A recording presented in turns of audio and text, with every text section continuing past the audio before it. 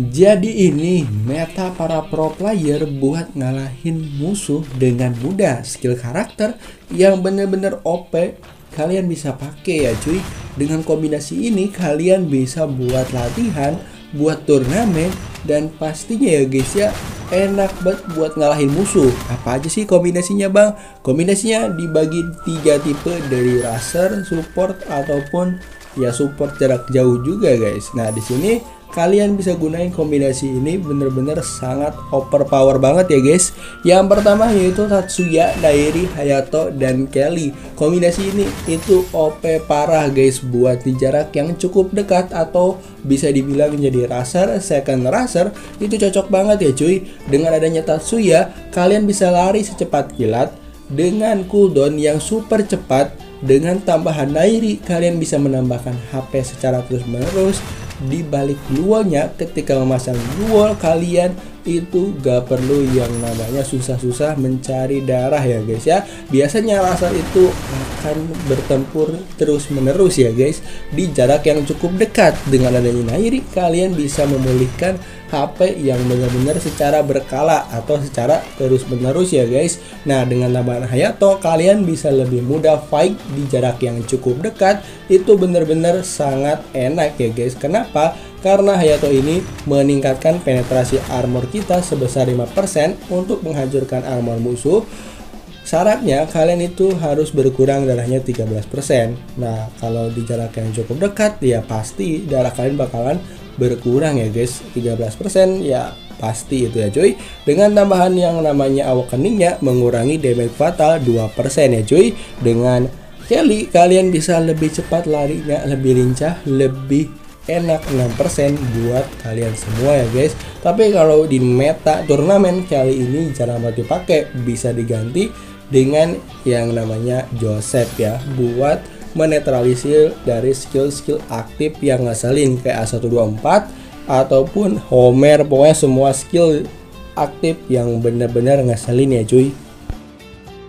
Kombinasi yang kedua ini banyak banget dipakai para support karena benar-benar OP parah sih guys dengan Skyler, Kapela, Muko, dan Maro. Kombinasi ini benar-benar rahasia para pro player support yang bisa gampang buat yang namanya bekerja sama dengan Racer dengan Skyler kalian bisa buat yang namanya menghancurkan glue ya guys ya. Nah dengan Skyler sekarang itu stacknya bisa dua. Jadi ketika memasang glue lagi dan lagi itu bakalan sia-sia musuhnya ya guys. Karena bener-bener OP banget buat Skylar sekarang ya guys.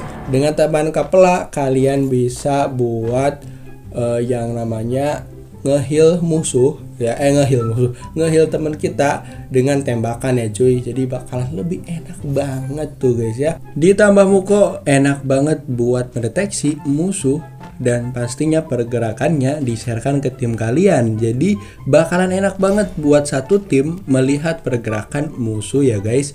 Dengan tambahan Maro di sini kalian bisa memudahkan buat tim kalian itu sakit 25% bertambah sesuai jarak. Semakin jaraknya jauh, semakin mengerikan dengan musuh yang ditandai itu bakalan nambah damage juga plus 2,5% jadi bakalan sangat sakit sekali ketika musuh ditandai guys kombinasi yang ketiga gak kalah keren juga gak kalah OP ya buat dipakai ada Chrono, Joseph, JB dan Nikeli. Kombinasi ini itu bisa dipakai buat second racer atau racer pun sebenarnya boleh juga ya guys.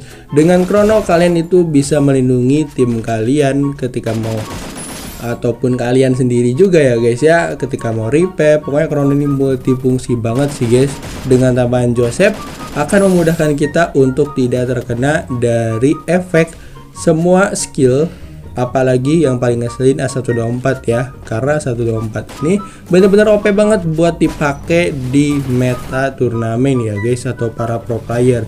Dengan tambahan JBIBS di sini untuk pemblokirannya akan lebih mudah buat diblokir 8% ya.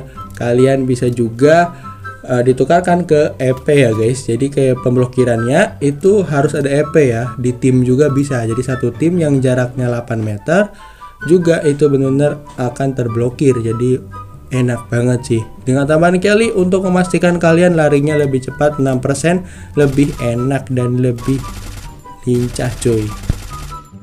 Kombinasi yang selanjutnya OP banget buat di turnamen yaitu ada pro player uh, A124, Alvaro, Nairi, plus Luna ya guys. Kombinasi ini itu kayak kombinasi yang menurutku the best banget buat skill aktif dari A124 itu OP banget buat mengobrak ngabrik pertahanan raser musuh ataupun pertahanan musuh juga guys. Karena menonaktifkan semua skill ya tapi ada counternya tadi Joseph.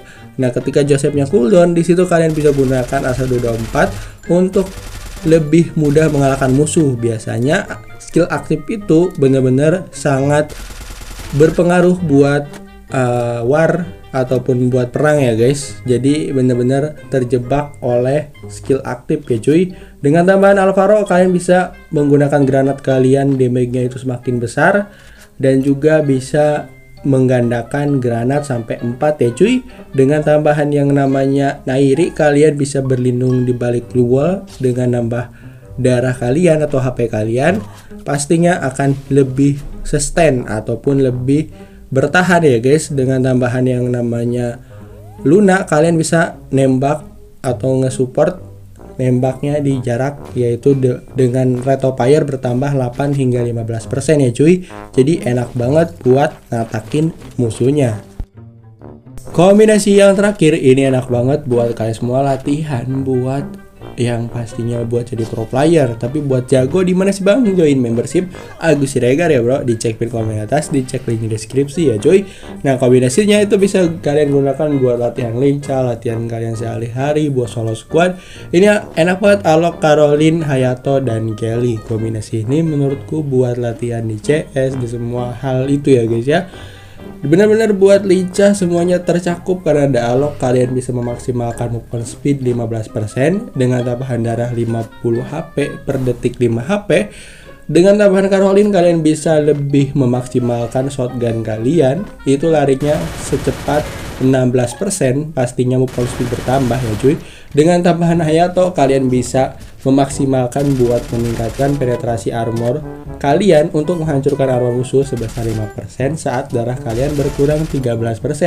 Dengan awakeningnya pastinya mengurangi damage fatal 2%. Dengan tambahan Kelly untuk memaksimalkan lari kalian lebih lincah lagi. Jadi bakalan enak banget buat kalian latihan sehari-harinya ya guys. Di empat kombinasi tadi itu buat kalian jadi di turnamen di semua hal ya guys ya. Tapi yang kelima ini buat latihannya. Jadi kalian bisa gunakan yang kelima buat latihannya. Oke jangan lupa di like subscribe dan share biar teman-teman kalian semua pada jago dah